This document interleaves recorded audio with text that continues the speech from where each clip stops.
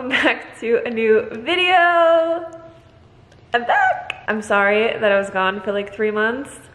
I got really overwhelmed when we were like moving into the new house and then I started writing out everything for my 28 day guided meal plan that's coming out soon and then I started yoga teacher training and life just got really far like away from me and I'm back and hello how are you? I feel like it's crazy because not being on here for so long it felt like a part of me had like died. And that sounds really dramatic but I mean I've been on YouTube sharing with you guys every week for like eight years. So not being on here and not posting consistently and like having the community that we've built together and just like being able to chat with you guys like obviously there's Instagram and I just got on TikTok if you guys want to follow me on there but it's just not the same you know like this is where I started my whole journey and I just feel like I miss you guys like truly truly I did and I felt like a little bit just like lost without making YouTube videos, but I'm back. I'm gonna be consistent this time. I know I said that in my last video, but I plan on doing at least a video a week for you guys.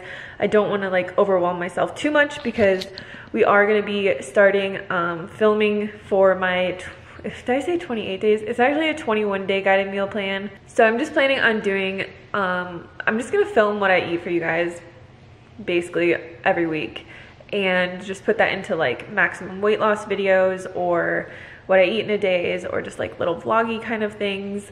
I am going to do a house tour for you guys, but we are just finishing up a couple things. Like some things are just like our bathroom is not finished and just some things we're just kind of finishing up. So I want it to be like done before I do that because we're gonna make like a really nice house tour video for you guys.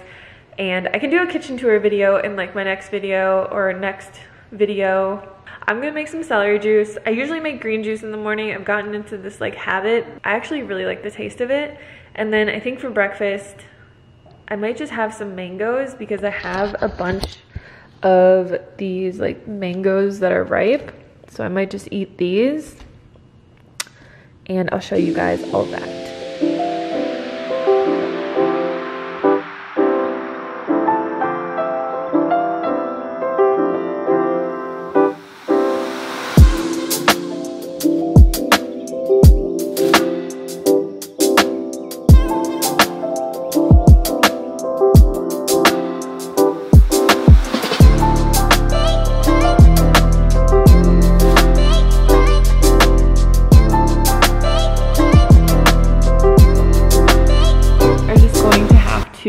Ignore my nails for the this whole video and probably the next couple videos because I got gel put on them and they like, it ruined my nails so much and I can't get this stuff off. I know you can like soak it off and whatever, but I just don't want to ruin my nails anymore. So this is what they look like. All right guys, change of plans. I was just gonna have some mango for breakfast, but there's this single serving apple crisp that I've been making because it's fall time and I actually just went apple picking and I got about 40 pounds of apples. And this is just a recipe I've been wanting to make and put on my blog. So I'm gonna make that for breakfast instead and I'll show you guys how I make it. It's really easy, it's super delicious. I love it. You can actually make it in the oven or you can make it in just your air fryer. I try to do the air fryer today, but I might just stick to the oven because I want the recipe to be consistent. So we're gonna make that and let's do that. All right, so first thing we're gonna do is just chop up two apples. I'm actually doubling this recipe because I think in the photo it will look better with two you know, ramekins than one. So for the single serving version, just go to the link down below. I'll put the link to um, the recipe on my website down below. You're just gonna wanna core and chop these. And I like to chop them really finely because then they cook a bit faster. So I chop them into like little chunks about this size. And we're actually just gonna put these into a big bowl. Okay, and then once we have all of the apples chopped up, I'm gonna add in a little bit of cinnamon. So the original recipe just has cinnamon, but I'm also gonna add in some pumpkin spice just to give it some extra fall flavor. So you're the rest if you go by the recipe, you're supposed to add in a half teaspoon of cinnamon, but I just kind of eyeball it. And then I'm just gonna add in a bit of this pumpkin spice. Probably like the same amount. I like a lot of cinnamon and flavor. then we're gonna add into here a tablespoon of brown sugar. Well, actually two tablespoons because I'm doubling the recipe. And then we're also gonna add in a tablespoon. Well, actually I'm doing this like totally wrong here. So you're gonna want another little bowl to measure out your oats and your oat flour. So for each recipe, you need a quarter cup of oat flour and a quarter cup of oats. So I'm gonna do double. All right, we can just mix this together. And then once you have this mixed together, you're just gonna wanna add a little bit of this, about two tablespoons. So one tablespoon if you're doing a single serving into this and mix it together. It's just gonna help, it's just gonna like kind of bind it all together when it cooks. I'm also gonna add in a quarter teaspoon of salt to this mixture. And then I'm gonna add two tablespoons of brown sugar into here as well. I really should have used a bigger bowl, but I didn't. Okay, so once that's all mixed up, you wanna add in some soy milk. I'm gonna do two tablespoons because I doubled the recipe. And this is gonna kind of be like our crust. So you're just gonna wanna mix this up till all of the dry flour is mixed in well.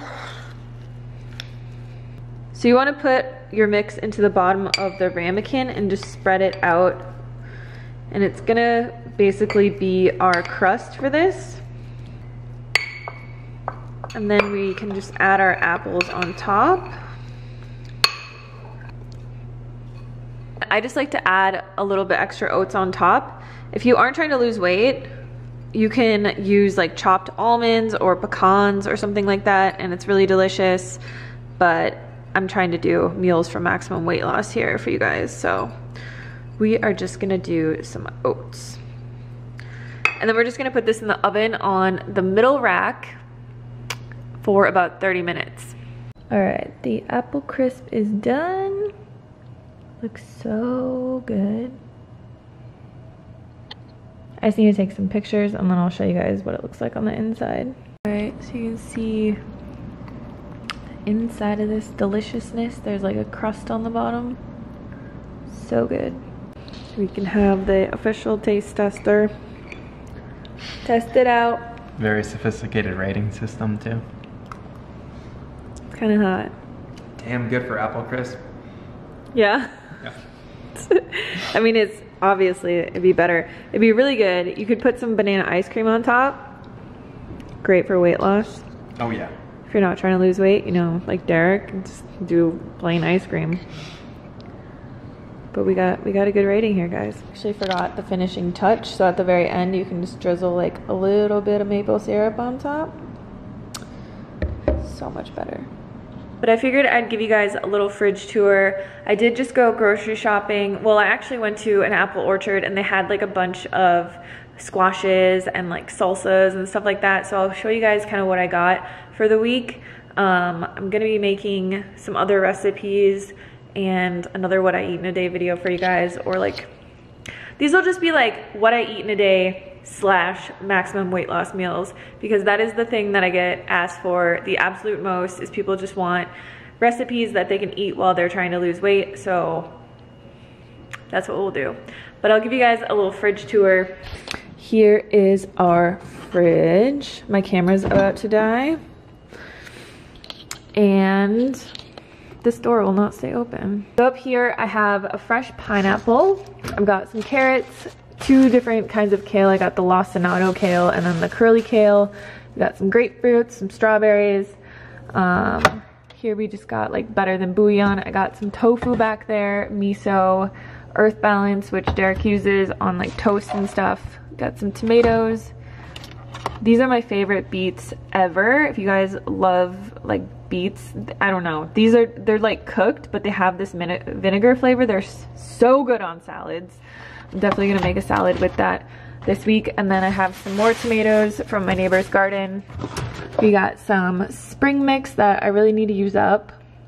I think it actually expires today.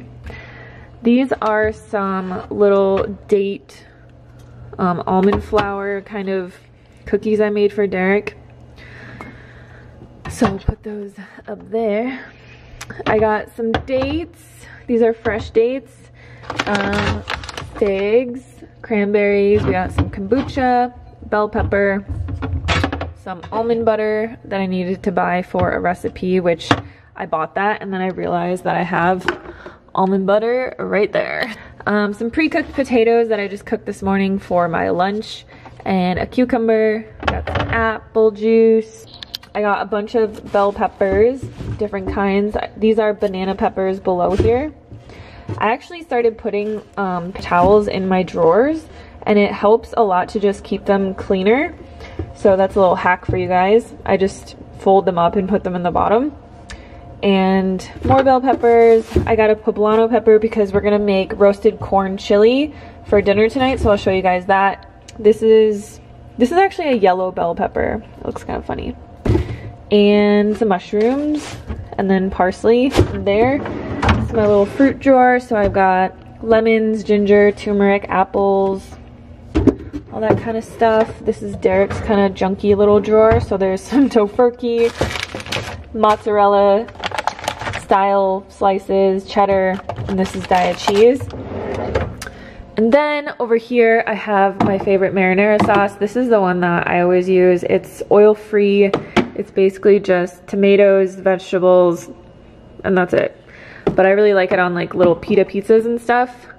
This is like a CBD drink. Um, we got some pickles, coconut milk. I like to buy this coconut milk because it lasts forever for some reason. And I just, it's only coconut milk and water. So that's what I buy. I also have some of this Mulk stuff. This is like the rarely used stuff down here. Um, got some chili paste, olives, jalapenos, sushi ginger, which is an absolute must for me.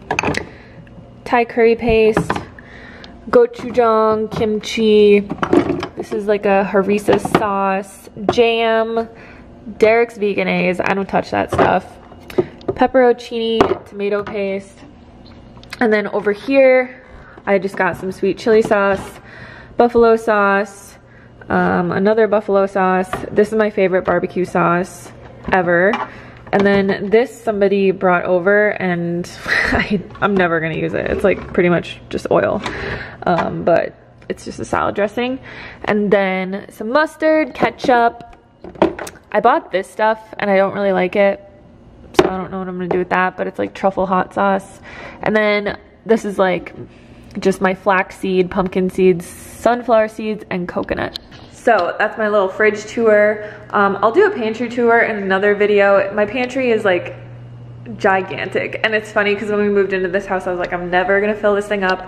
I was like, I'm never gonna fill up any of these cabinets or anything. And everything is like totally full. I was just doing a bunch of work in my office and now I'm gonna make lunch. I'll show you what I got. I'm gonna make just like a potato or a, yes, potato veggie skillet kind of thing on the stove. And I'm just gonna use up some stuff that I have left over. I always do this. I leave every cabinet open and Derek drives him crazy. So I've just got this pre-steamed potato. This potato is huge. It's like, I don't know, half a pound or more. And this sad onion. And then I'm gonna use some bell pepper, green bell pepper. This is actually a mild green chili. And then I'm gonna chop up some of this banana pepper and just use a ton of mushrooms. And I'm just gonna make kind of like a little veggie skillet out of it. I don't know, it's like one of my favorite things to make.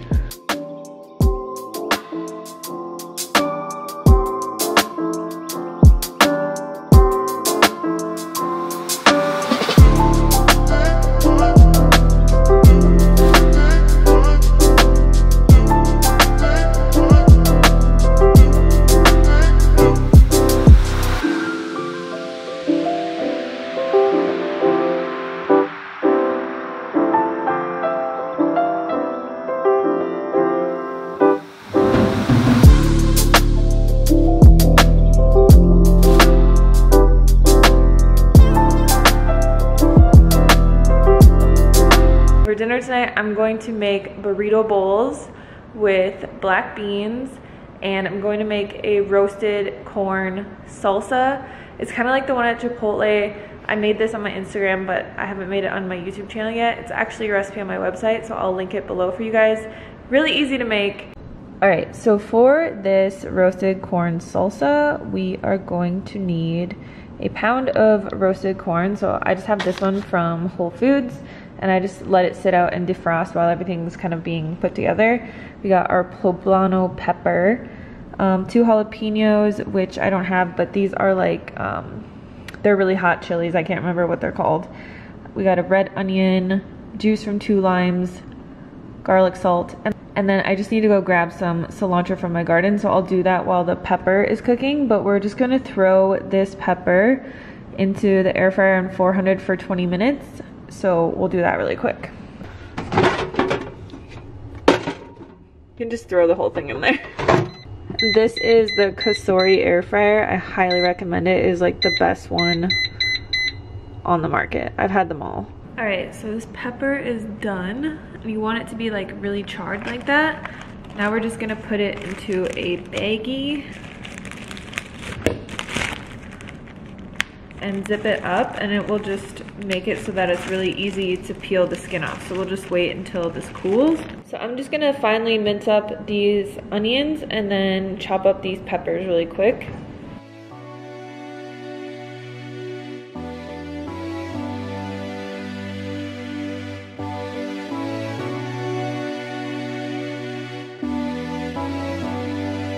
If you roll your cilantro up into like a ball like this, can really finely mince it really quickly. Okay, so I have everything in this bowl. I'm just going to juice my limes and add them in there. And then I'm just gonna add in about a teaspoon of garlic salt. Okay, so this has been cooling in here for a while you can take it out, you'll see that you can pretty easily just peel the skin off of this. So you wanna peel the skin off and then you wanna get rid of all these seeds, which I'm just gonna rinse this under the sink. It's like the easiest way. And just chop it into chunks. Which I like them to be kind of small. But you'll notice that when you roast this thing, it makes your house smell like amazing. It just adds so much flavor to the salsa. And then we can just add in our corn, which mine is still frozen. But I'm just gonna let it sit out to defrost while I cook my rice and rinse all my beans and do all that stuff.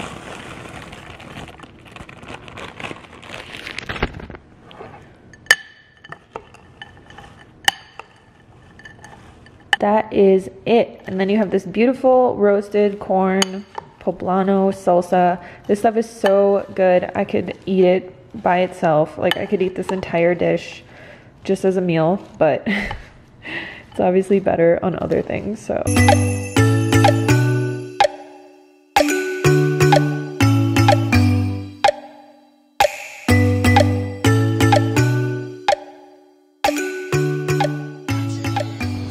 That is it for today's video. I hope you guys enjoyed this. Um, let me know anything you would like to see down in the description box or the comments. and I will leave all of the links for you guys for everything down in the description box for you. And I will see you next week.